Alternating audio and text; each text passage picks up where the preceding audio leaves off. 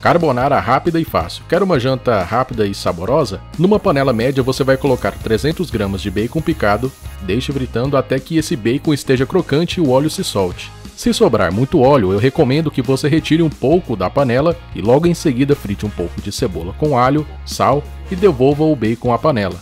Em seguida, adicione 400 ml de creme de leite. Bata dois ovos, se quiser adicionar algum tempero, fica à sua escolha. E nessa batida de ovos, você vai adicionar 300 gramas de queijo parmesão ralado. Não se esqueça de cozinhar o macarrão. O tipo escolhido costuma ser o de talharim. O desse vídeo é integral e sem glúten, mas qualquer macarrão pode ser usado. Em outra panela de preferência maior, você vai apenas juntar o macarrão com o bacon cremoso e o ovo batido com queijo parmesão. Complete com cheiro verde e ajuste o sal se quiser.